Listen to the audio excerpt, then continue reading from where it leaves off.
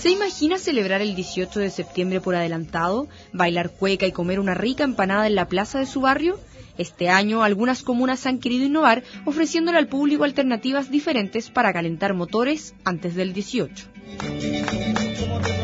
En la comuna de Santiago, por primera vez se realizará Chile Santiago te celebra en tu plaza, una fonda itinerante que recorrerá nueve puntos de la comuna con un escenario y diez food trucks para comer y bailar. Esta actividad es totalmente gratuita, lo único que es pagado es la comida que las personas consuman en los food trucks que se van a instalar. Pero la actividad musical, el baile, las actividades infantiles, las actividades deportivas que se van a hacer alrededor son totalmente gratuitas para el público. Y llevar esto a los parques y las plazas tiene que ver con todo el sentido de recuperar espacios públicos con emprendimiento móvil y gastronómico como lo hace SECMI. Tommy Rey, Los Charros del Humaco y Daniel Muñoz y Los Marujos son algunos de los artistas que recorrerán las plazas más importantes de Santiago, como la Parque Forestal y Plaza de Armas.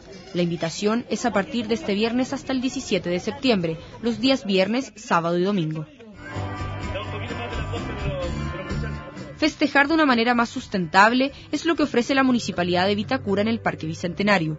Este 2, 3 y 4 de septiembre, la comuna celebrará con comida y juegos típicos y contará con la participación de bandas como Mazapán, Los Guasos Quincheros y Los Cuatro Cuartos. Aquí, por ejemplo, este año hemos eliminado el carbón y la leña y nos hemos pasado todo acá porque estamos en una ciudad muy contaminada como muchas ciudades de Chile, en donde tenemos que colaborar incluso en la celebración de nuestra fiesta. Pero si de fondas tradicionales se trata, las más de 50 hectáreas del Parque Bicentenario de la comuna de Cerrillos estarán disponibles a partir del 16 de septiembre. La Semana de la Chilenidad espera recibir a más de 72.000 personas en su cuarta versión, convirtiéndose en la fonda más grande de Santiago.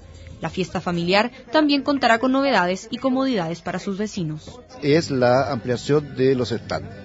Eh, mucho más diverso, mucho más eh, amplia la oferta desde el punto de vista de, alimentos y, de tragos típicos. Una cosa muy importante, tienen más de 4.000 estacionamientos que nosotros los tenemos gratuitos hacia el público.